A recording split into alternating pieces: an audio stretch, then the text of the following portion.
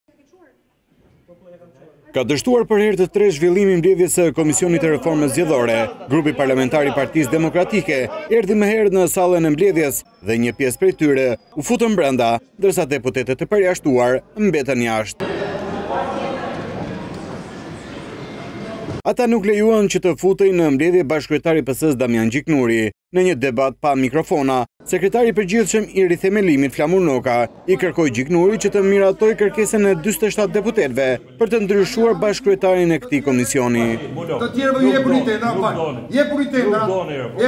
Jepuni tendera. Punësojani bashkëshortet, bëni çfarë doni,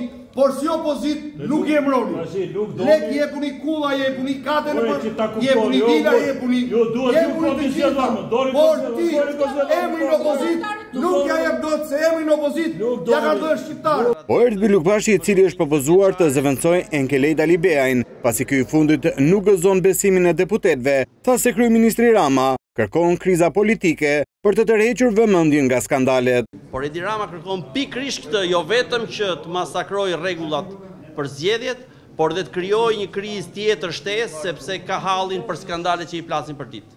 Por sipas Gjiknurit, as grupi Bardhi dhe as grupi Basha nuk duan reformë zgjedhore, Dhe sipas tij, ligji aktual është i përshtatshëm për mazhorancën. Vetëm unë habitem për një gjë, të dyja palët, të dy opozitat që duhet të jenë të para të interesuara për ecurinë e reformës zgjedhore, nuk po bëhen aktive për ta për ta çuar përpara këtë proces.